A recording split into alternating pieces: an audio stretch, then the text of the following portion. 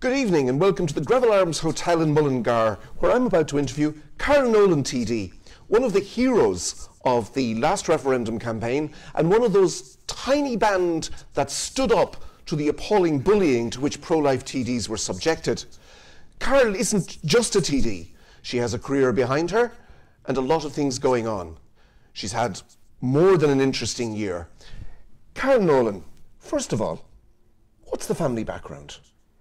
Well, I'm the eldest of four children. Um, my mum uh, would have been a stay-at-home mum.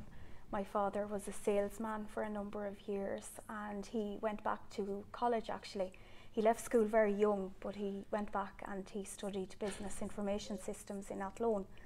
So he, um, Right. yeah, which was a An unusual thing to an do at the time. Thing to do. Yes. Um, I was the first then, obviously, in the family to, to go to college. To go straight to college out of school. So I qualified as a teacher. You qualified as a teacher, secondary or national? It was national, national. Yeah. Why national teaching, Carol? I absolutely loved it. Would you believe I was in the Gael School here in Mullingar? Um, In Gael Mullingar? School on Willen was my first job. I did my degree in Maynooth, Irish and Irish Studies.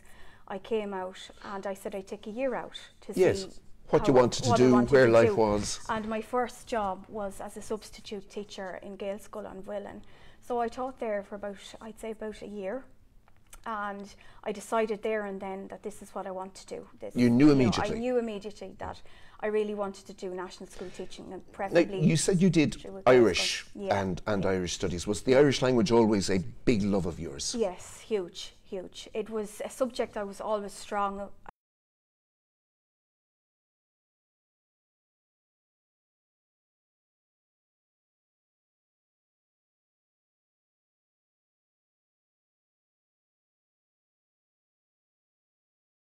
Tend not to get that love for the language. That's true, I suppose. Yeah. Ne- negative, uh, you know. There can be, are, there know, can but- be. but that's not definitely not the case in in my situation, and you know. And you've obviously enjoyed passing that love of the language on to others because you now work in a Gael school, don't you?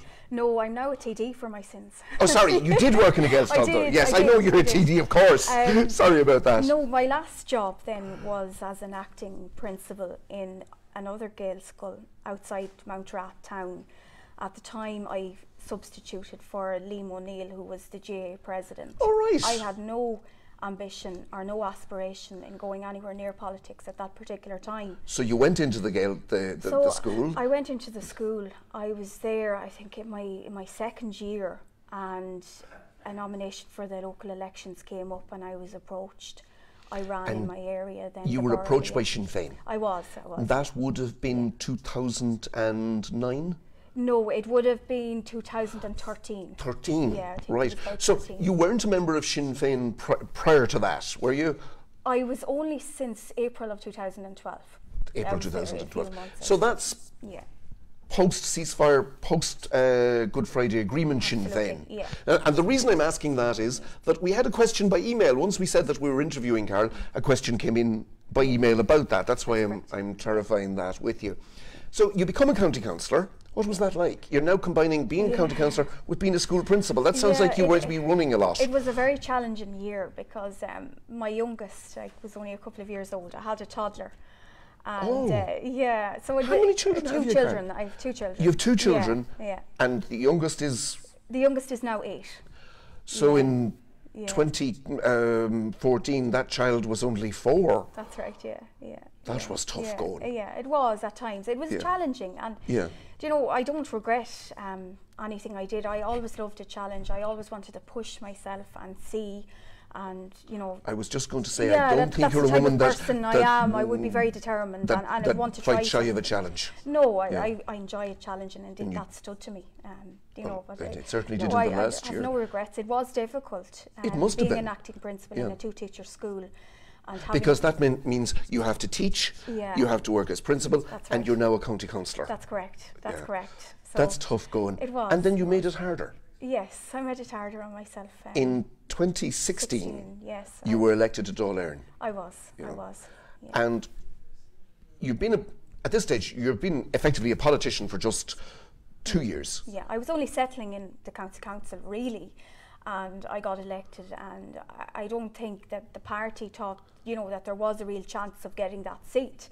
Yes. But I was determined to prove them wrong, and I- had. When I- you were running, you yeah, weren't running just to make a, a case. You no, were running to take a absolutely. seat. I was running Yeah. and gave it 110% as I would with everything. Any job Yes. I ever did in my life, uh, which was teaching, obviously, in politics, I gave it 110%. Now, And that's- to, to get the seat. 2016. We've had the first, more than the first rumblings at that stage of the coming campaign. Uh, the government, Fine Gael and Fianna Fáil, are by then effectively committed to it. What was Sinn Féin's position? When I joined in 2012, Sinn Féin was a pro-life party. Sinn Féin was It a pro-life party. It was a pro-life party, yes. And gradually, by degrees, the goalposts started to move. Little bit at a time. Yeah, a little bit at a time.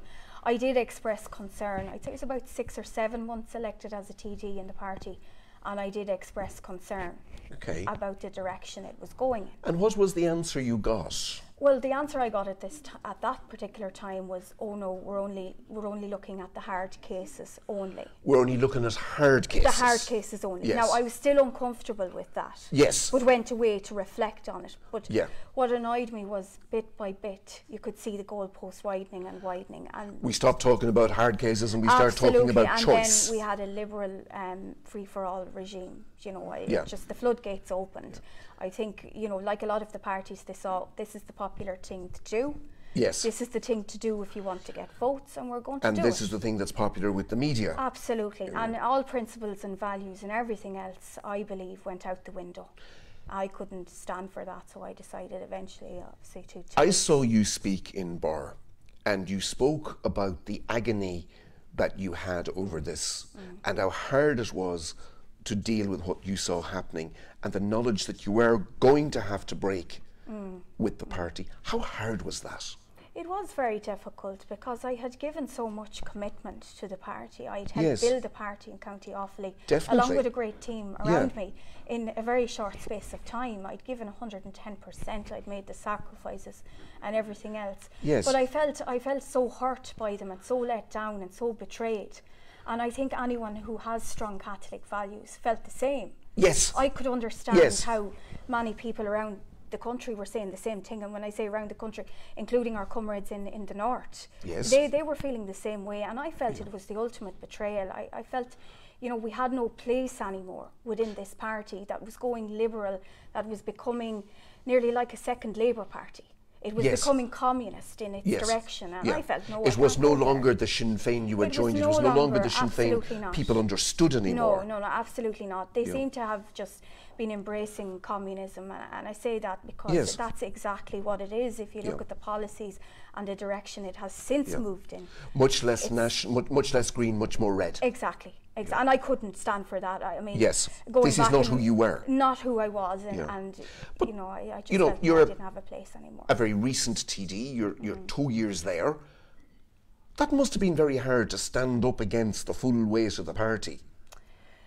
I, I just did it. I'd be Yeah. very strong and determined and strong-willed. That if I believe in something, I'll go with it. I don't care. You're not going to what back down. pressure or what punishments that there are. Um, I will just do it. Yeah. And that's very much who I am. You're not a coward. if I say something, Yeah, I'll follow by through. any means.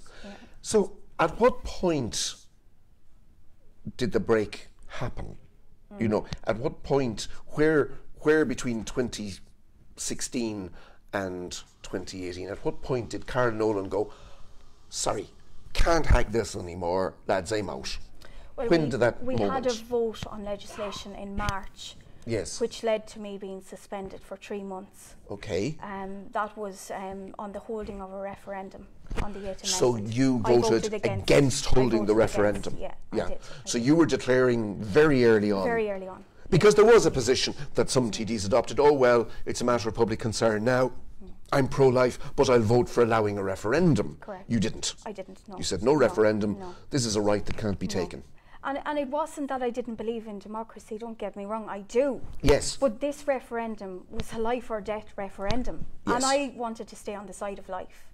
And I said from very early on, this is not who I am. this does not resonate with the values of the 1916 proclamation. Yes. Or 1916 Cherish, proclamation. cherish all the children Cherish all equally. the children Just let's kill some of them. And the first line mentions God. And That's here right. we had all of our values. And the dead being generations. Yeah. Exactly. So I couldn't I couldn't go with it. Yes. And I decided to put my cards on the table. Do So you did that that day. Day the ref, the referendum bill comes up. First vote on it in the Dáil. You voted against it. Yes. Party suspends you for three months. Three months, that's correct. So then, after three months, they're going to let you back in. That's correct, yes. What happened then? My suspension was due to be lifted on the 21st of June. And the Ard Fheis in Belfast took place Yes. that the week beforehand. And at that Ard Fheis, um, a number of cumann throughout the country put forward motions on the conscience vote.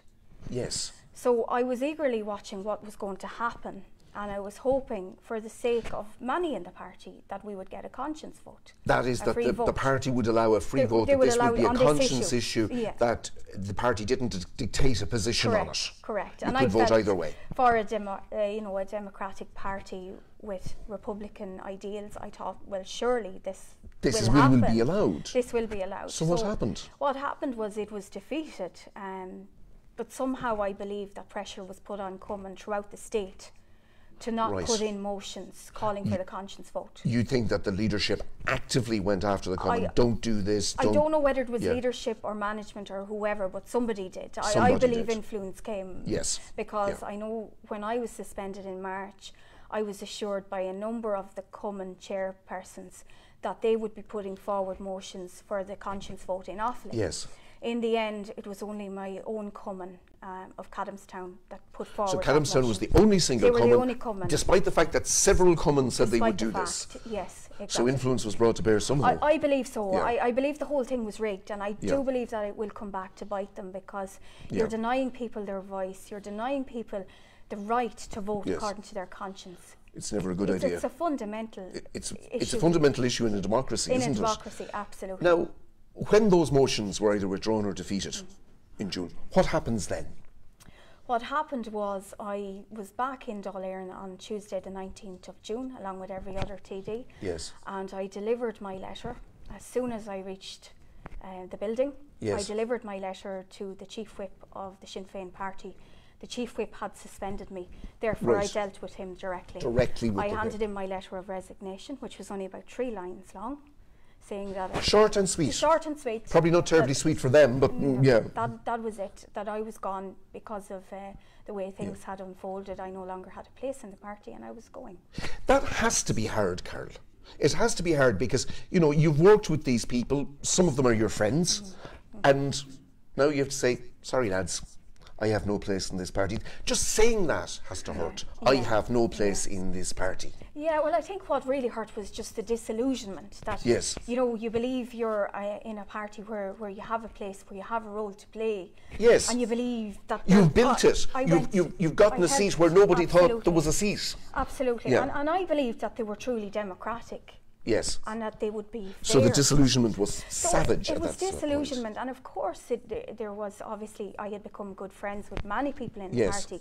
There are great people um, Yes. in every party, There are, of course, and. I had built up Yeah. friendships with, with Yeah. some of those people. And Which brings us to the, the, the question. I mean, the other outstanding TD out of this is your friend and colleague, uh, Tóibín. He has started a party, Aontú, Mm-hmm. but you're not in it.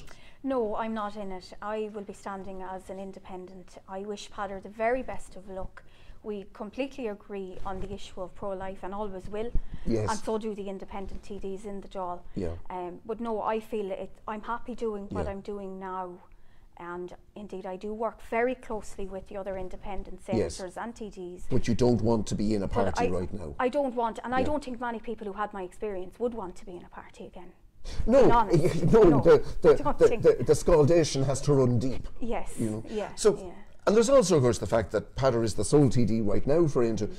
It probably would put a great deal of pressure on you. You'd, you'd be the, their second TD. Yeah. There'd certainly have to be a leadership role there, wouldn't there, in the sense, Oh, an informal one anyway. absolutely, You'd be going around the country. That's you know. correct. That's correct. But look, I, I just feel that I'm happy doing what I'm doing. I'm very active on pro life. I spoke in the Mansion House um, with Gianna Care You spoke at the- Saturday at night the dinner. at the, the Yeah, ball, and that's yeah. right. That's correct. The one that night. the one that Nial Ring has been criticised widely by Exactly, um, yeah. by the um, pro-abortion movement for having. Absolutely. You know, which is more than interesting in itself. Gianna Care, the charity that helps women on their worst days, is the charity that the abortion movement has decided to demonise. Uh, it says a lot about them. It does indeed. Absolutely. Now, how is the campaign going? We're heading towards a general election, maybe not this year, but certainly 2020. How, you have a campaign running. I do. You have absolutely. people helping. I do. I do. I mean, I stayed working. I got on with it and moved on very quickly. I was determined not to let anything set me back, even though it was hard. you brought the same energy you brought to being a principal and a councillor. Yeah, I just kept going. I'm lucky because I have a good, I have a good uh, group of people behind me Good. In Offaly, and indeed people who have stayed with me all of the way since the time I ran in the local election. I'm very lucky to have those people, and That's I am great. getting offers of support every day of the week, and I'm very grateful for that. And I do feel that things are going very well. Things are positive. I give it my best shot. Good. Um, I want to represent the people of Offaly. I want to be the pro-life rural voice, and I'll, I'll do everything in my power. Well, Carol, I think that you represent more than the people of Offaly. You represent an enormous swathe of Irish public opinion. Now, while you're doing that, I, I talked about we talked about Gianna Care being demonised. Mm. You were demonised. I was, yeah. I You was, found that campaign inside the Dáil. What happened? Can you tell us about that? Yeah, I, I suppose, um, like any of the pro-life TDs, you know, we all had a difficult time in there. Any time we brought forward reasonable amendments, whether they were to do with the pain relief for unborn babies or conscientious objection for our doctors and nurses and pharmacists, which I felt very strongly about because I had Yes. conscientious objection myself as a politician. And all of those amendments were just, they, you know, they were shut down, they were knocked, they were mocked, they were. It was unbelievable what went on in the Dáil, and I'd encourage any of you, you know, to maybe go back and look at the Oireachtas videos and see exactly what happened. But we were shouted down, we were insulted, we were there You was name calling. You mentioned before, I know, several times, Mm. the jeering and catcalling from the media. yeah, yeah. Sitting there as journalists, as, if you like, our eyes. Yeah, well, what happened with the media now in the committee room was I have to say there was one reasonably balanced report Yes. um, from the, from the RTÉ reporter who was in there, but definitely there was an article done by the Irish Times and tweets went out by the Irish Times. I want to correct that. The Irish tweets went Times. out, and they were Yeah. completely incorrect. Um, those tweets made reference to the fact that I had drawn the media's attention to the fact that there was TDs sitting over to my left, TDs from conservative parties and left-wing parties, who were laughing as the pain relief amendment was being discussed. They were laughing in the chamber. I turned around and drew the journalist's attention to the matter. Yes. But one particular journalist decided to put her own little spin on it and tweeted out something that was completely false. And, and, And it seems a perfectly reasonable thing to do to draw the attention Mm. Absolutely. of I the felt, media. I felt out of fairness. It must have been in, infuriating It was, to it watch was. TDs laugh and jeer. Yeah, yeah, it was. It was. You know, It- at, at, a, at, at a, a bid to put in pain relief, the sort of pain relief that you have to give a horse on a Yeah. race course if you're using a phenol injection. That's correct. That's correct. It, it was it was absolutely outrageous and you know heartbreaking because these were women. These were women, Women. who was laughing, and I just thought there's something seriously wrong here. Um, When the subject of pain, of when the subject of pain relief for a tiny infant Yeah. is a matter of laughter. Yeah, yeah. Yeah. And I would have called it out, and Yeah. indeed my statement would be would be on the record. You're a mother. Mm. It must have really hurt you and infuriated you as a mother to see that because you know what it's like to Mm. Yeah, have a child. Absolutely, absolutely. It is. I mean, it, it just. I, I don't know anymore. Um, we've lost all sense of. They talk about compassion, but where was the compassion for the little unborn baby? Um, in terms of pain relief, there was absolutely none. In fact, there was no respect shown, and and it does. It Not does only was there not compassion, there wasn't even respect. it does infuriate me and, and indeed disillusion me in that we're becoming like this as society and that we have people elected to represent the views of, of their electorate and all Yes. of their electorate wouldn't have been pro-choice. And Not by a long shot, To see yeah. that sort of a carry-on taking place um, in, in the Dáil, it's a disgrace really, you know. Carol- disgrace. Right now, a lot of pro life people are disillusioned. they're depressed. They believe that the victory is final for the pro-abortion side. What would you say to them? I don't believe that for a second. And all I need to do is just look at people who were here tonight, who took the time to come out, and thank you all for coming out, because that's what we need in every area. But I can see um, there's a big movement, pro-life movement, gathering momentum, and I could see that uh, on Saturday night in the Mansion House. Yes. Young people coming out um, trying to do their best for pro-life and indeed to protect mothers and babies. And I really do feel that all is not lost. If we look at what's happening in America and in many states, there has been a rollback. There have been more people taking part in pro-life marches. And I do believe that we will get there, but we do need to chip away. We do need to be determined Little and bit at a steadfast. time. In, in, in, you know, we can't give up and we can't become disillusioned and go away. What? The other crowd didn't go away in 1983 when, when they lost. You know, so True. like that, we have to stay chipping away and putting out the counter arguments that we're talking about life here. It's a life or death subject, and it's as simple as that. I see it as a very black and white issue. And we're talking about the most vulnerable in society, the unborn baby, who needs a voice. And we need to be that voice because if we're not there, who else is going to do it? And we, we do all have a role to play in that, and I certainly will do my part as a TD. Karen Nolan TD, you're a hero. Thank you very much.